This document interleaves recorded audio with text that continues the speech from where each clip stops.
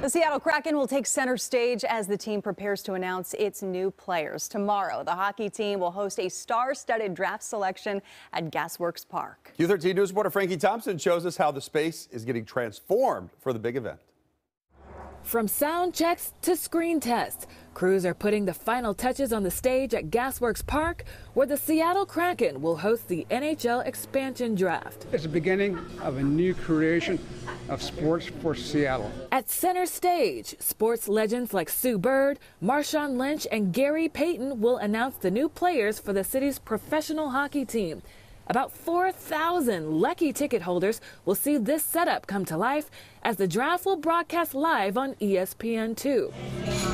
For other fans like Ernie Martin, they're finding their own seat for the show. An outstanding opportunity for the sports fans like myself to enjoy. Rookies Sports Bar and Grill is one of several restaurants the Kraken is partnering with to host watch parties.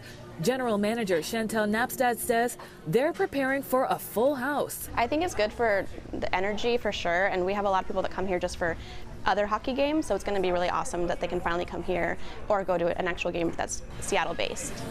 The pro team is providing the watch party with free swag for fans as they cheer on the newly drafted players.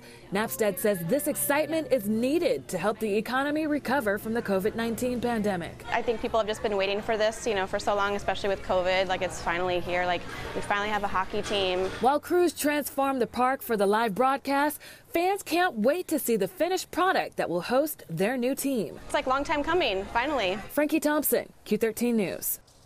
Ticket holders will be the only visitors allowed at Gas Works Park tomorrow, but they must keep all portable chairs and umbrellas at home. There will be metal detectors and bag screenings at the gates for safety. A giant video screen will be near Lake Union so boaters can watch from the water. That big event starts at 3:30.